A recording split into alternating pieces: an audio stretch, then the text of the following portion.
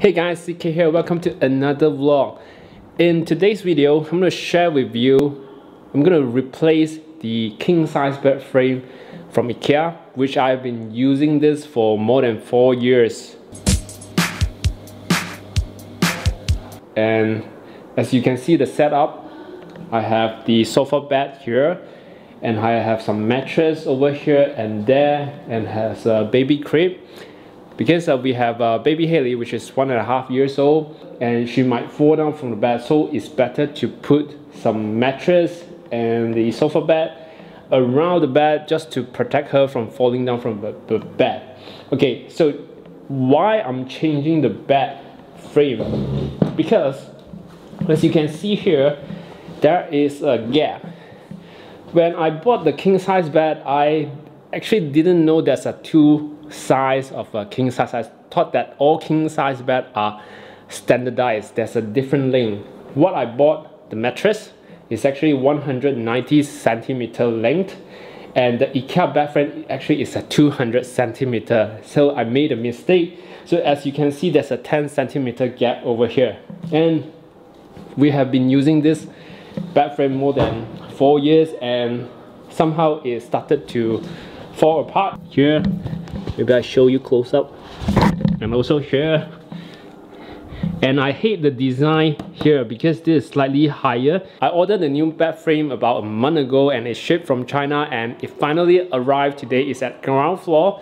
So the next thing I need to do is, which is most challenging part, I have to remove this king size bed which is really really heavy and disassemble the bed frame, clean up the floor and assemble the new bed frames.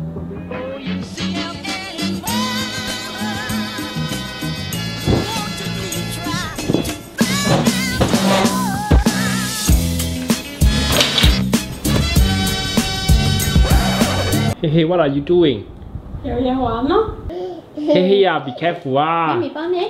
One, two, three. Ooh. you.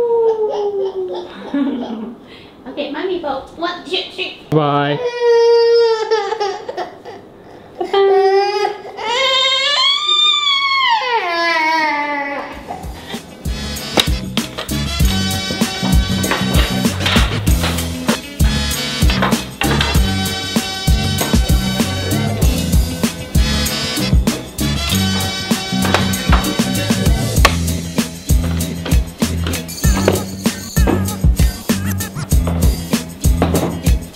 I have disassembled the bed frame and this place is vacant and all the bed frame's parts, screws and pieces are over here, including all the nuts.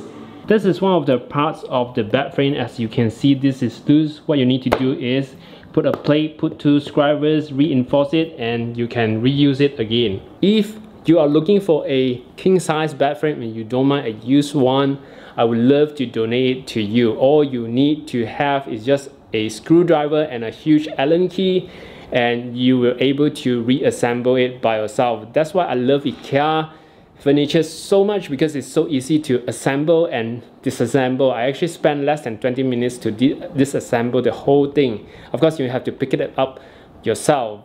In case you can't pick it up yourself for whatever reason, you can probably hire like Lalamove, which I did just recently with my uh, gym station. So of course, this is not an endorsed video.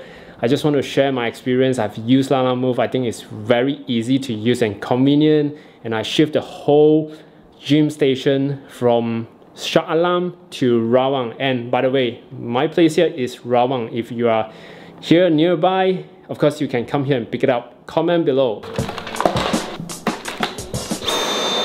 Next, I'm gonna vacuum the floor and clean the floor before I move the new bed frame pieces to the second floor for assembly.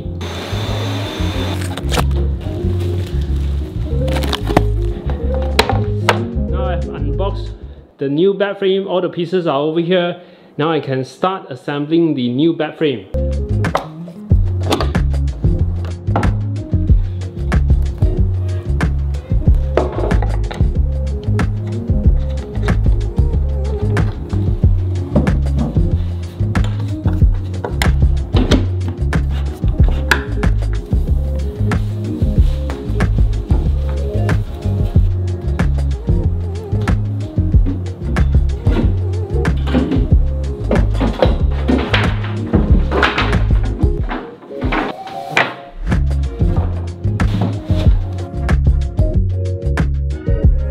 After waited for more than a month for the shipping, eventually we received this new bed frame, completed assembly, and tonight we're gonna enjoy the new bed. Before that, I have considered buying the new Muji bed frame, which looks very similar with this one. It has the simplicity and the wooden design, but Muji has better quality and costs 3 to 4,000 ringgit, including the headboard. This one only costs 1,000 ringgit. So can't compare. I have to compensate with the quality for the price. That's the sharing for today's vlog. Hope you guys enjoyed and I'll see you again in the next video. Bye.